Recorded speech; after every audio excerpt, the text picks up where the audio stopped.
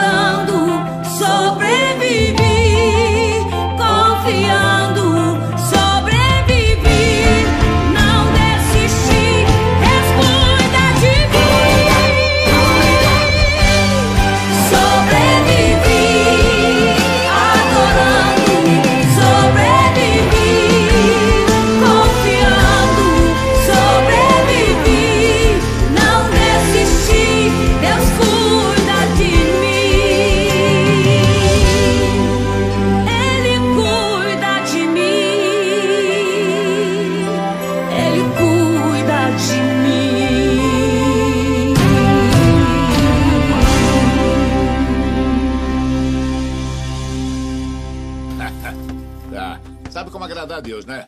Conte seus planos.